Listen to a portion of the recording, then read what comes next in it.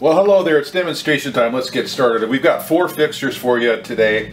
Um, we have labels that's going to indicate the front. Just go ahead and put that fixture directly in front of you, and then you're going to go through our standard uh, two-part process, which is to set the box into the fixture, then press it down and make your folds.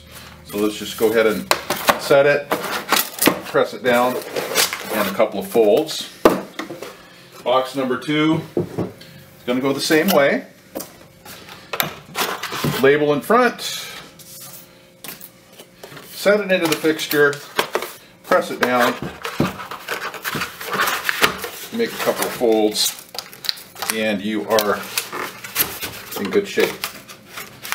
All right, that's going to be number two. A couple more for you.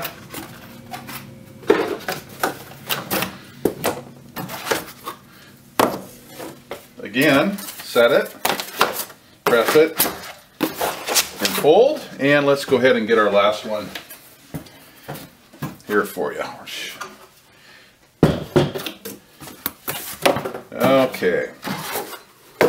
Thanks for hanging in there with me. Here we go. Let's go ahead again. Let's set it, press it down, and fold. Thanks again.